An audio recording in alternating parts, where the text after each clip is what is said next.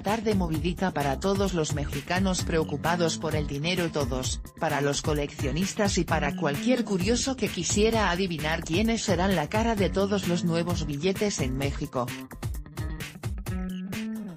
Sin embargo, entre las decenas de anuncios que Banxico dio este lunes uno de los más extraños fue la creación de un billete de 2.000 pesos.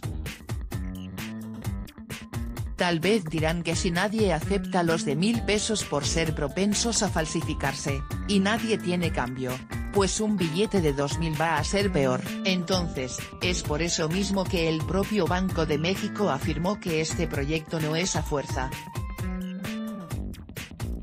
esta, la denominación de 2.000 pesos, solo se emitirá si se considera que dicho billete se requiere para satisfacer las necesidades de los usuarios, decía el anteproyecto de Banxico. La cosa es que para que no los agarren en curvas y llegaran a ser necesarios COCOF inflación COCOF, Banxico ya tiene todo lo necesario.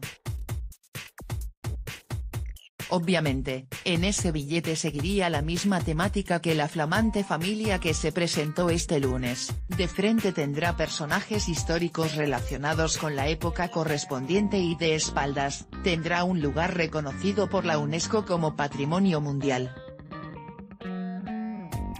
Además, irá acompañado de la fauna y flora local, una chulada, pues,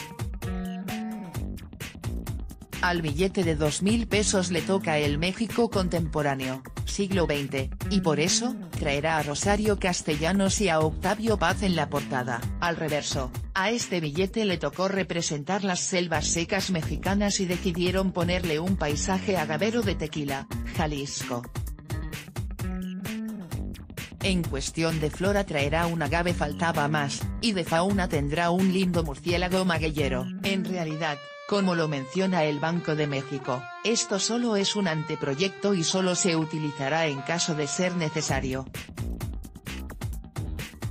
Sin embargo, sí le ha hecho mosca a más de uno ver un billete de alta denominación, como que ya les habíamos perdido la costumbre,